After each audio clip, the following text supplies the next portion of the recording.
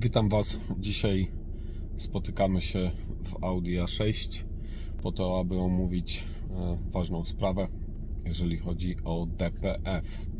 Jak to diagnozować i co może być przyczyną, że Wasz DPF e, zbyt szybko się przepycha. Mm, słuchajcie, wczoraj rozmawialiśmy, mm, jeżeli chodzi o turbo. Turbo może być przyczyną może lać olej, spalać i wiadomo, co wtedy się dzieje. Więc spalając olej, za dużo jest sadzy i zapycha nasz DPF. Tutaj jak kupić diesla od e, kobiety, która jeździła w niedzielę do sklepu, a w tygodniu woziła swoje Pokémony do szkoły. Słuchajcie, no to wtedy wiadomo, nie wypalany jest DPF do końca, jest przerywany i wtedy zabija was DPF. Następna może być przyczyna mm, świece żarowe. Jeżeli świece żarowe, świece żarowe wymienia się co 60 tysięcy kilometrów albo co ileś tysięcy cykli. Cykl oznacza odpalanie i gaszenie silnika, bo wtedy tylko świece żarowe działają. Jeżeli silnik już chodzi, to wiadomo, że diesel pali kompresją. Kompresja po prostu jest w ten sposób, że tłok ściska powietrze, jest tak nagrzewane, że jest tak gorące, że wtryskiwany diesel jest spalany. Następnie Także świece, świece, świece żarowe. Jeżeli macie problem, świecą Wam się świece żarowe, warto zadbać o to, bo po prostu w trakcie wypalania świece żarowe wspomagają e, podnoszenie temperatury silnika spalin, także świece żarowe dbać, 60 tysięcy wymieniać i, i jeżeli kontrolka czy, czy, czy VCDS Wam powie, że jest błąd świec, warto tym się zająć. Termostat. Termostat, czy może być przyczyną?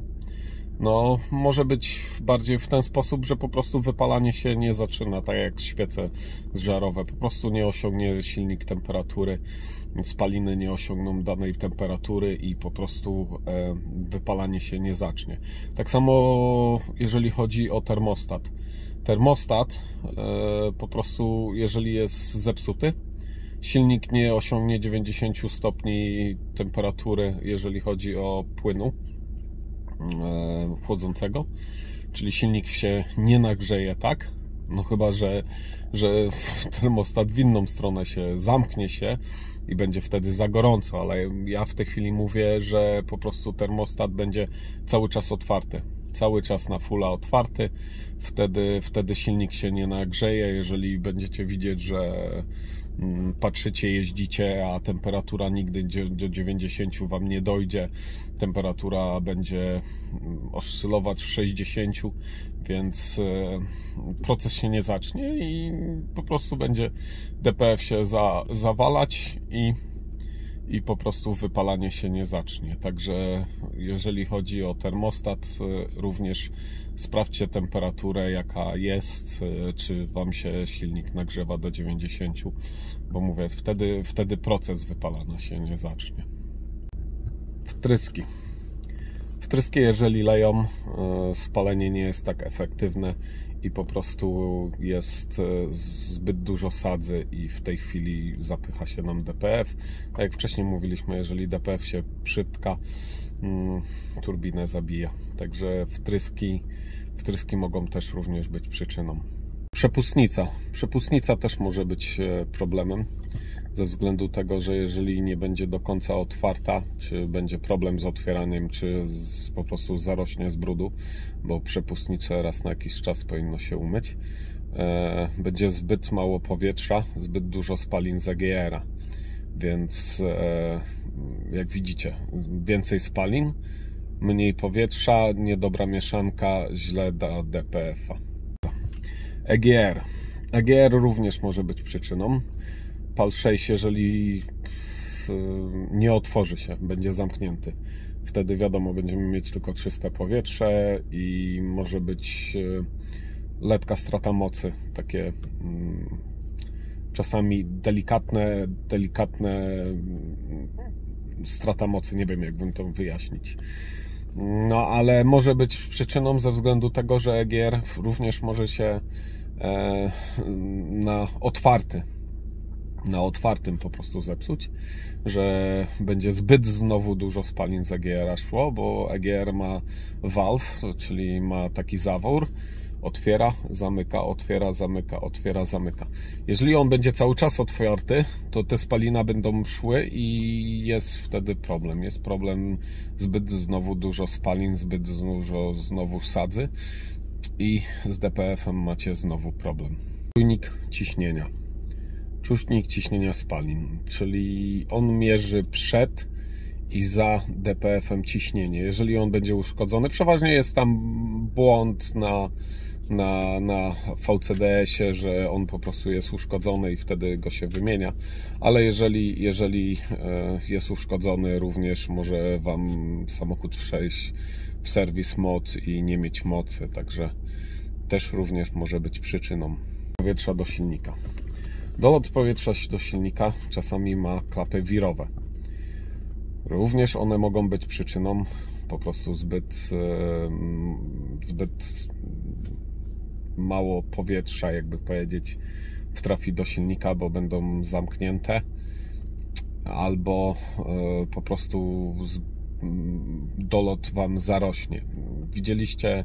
A jeżeli nie, to zapraszam do filmiku, jak czyściłem swój dolot powietrza i jaki był zarośnięty przy 120 tysiącach kilometrów. Więc jeżeli jest e, zaburzenie dopływu powietrza, również może być problem z DPF-em. Temperatury. Czujniki temperatury na turbinie i za DPF-em. Jeżeli są uszkodzone, je się mierzy e, woltomierzem, a właściwie mm, multimetrem. E, mierzy się ampy chyba, ampy, ampy się mierzy i sprawdza się, mm, może kiedyś Wam pokażę. E, jeżeli, jeżeli jest uszkodzony w każdym bądź razie E, jeden z nich po prostu są okłamania i samochód również nie, nie, nie, nie wypali DPF-a. Nika, czyli zwany komputer albo mm, kable mogą być przetarte.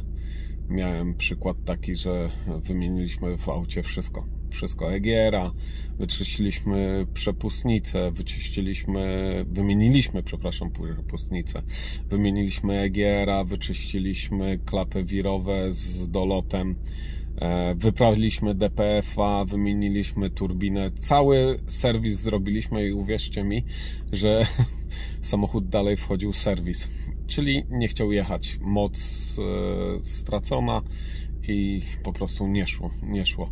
Wyobraźcie sobie, że okazało się w Audi w podszybiu zrobił się basen. Po prostu był tam basen. E, tam są odpływy takie. Mm, one się zatkały, chociaż takie spore są te odpływy, się zatkały i wyobraźcie sobie, że tam był basen. Po prostu całe wszystko było w wodzie. Także również taka rzecz może się zdarzyć i jeżeli coś się dzieje, zerknijcie też pierw tam, nic to nie kosztuje, a raz na jakiś czas nawet wyczyście, sprawdźcie, czy woda się nie zbiera, bo tam lubią się rzeczy takie robić. Słuchajcie, brać DPF-a, czy może kupić taniego Chińczyka? Słuchajcie, ja uważam osobiście i z mojego doświadczenia, że Chińczyki przejeżdżają może rok Kosztują ze 150 funtów. Montowałem Volvo CX90, słuchajcie. Tak właściciel zażyczył. Mówiłem, żeby wysłać do prania. Mm, on stwierdził, że wymienimy na Chińczyka. Słuchajcie, po roku czasu to nie tyle, co on się zepsuł, co jak ściągnęliśmy DPF-a, to nawet nie był do naprawy, nawet nie był do prania ze względu tego, że taka dziura była. Taka locha była przez całego DPF-a. Tak więc raczej nie jestem za Chińczykami. Słuchajcie, jeżeli wasz DPF nie jest do naprawy, czyli ściągacie DPF-a, jest taka możliwość, zwróćcie uwagę z drugiej strony. Nie od strony turbiny, bo od strony turbiny pierw jest katalizator, a później jest DPF.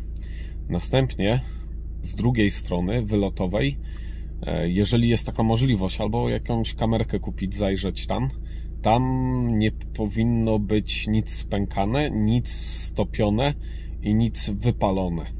Powinna być po prostu jak katalizator, po prostu takie otworki, otworki, otworki i to dosyć białe powinno być. Nie powinno być tego czarnego. Także wtedy TPF jest do prania. Nawet jeżeli zdecydujecie się prać, to pierw sprawdzają Wam, czy jest możliwość, a później decydują się na pranie. Mm, jeżeli e, już nie nadaje się, nie nadaje się do niczego was DPF. E, słuchajcie, wolałbym osobiście kupić e, z oryginału jakąś dobrą używkę, wypraną, albo kupić i wyprać. Tak ja uważam osobiście, bo z oryginału pójść do Audi i kupić to podejrzewam, że z 4000 funtów, jak nie lepiej.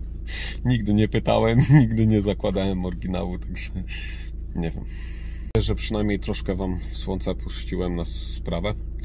Słuchajcie, każda, każda mm, jakby powiedzieć, sprawa jest e, indywidualna, czyli każdy może mieć inny problem. Jeden może problem mieć z EGR-em, jeden z wtryskami, mm, e, jeden z e, przepustnicą.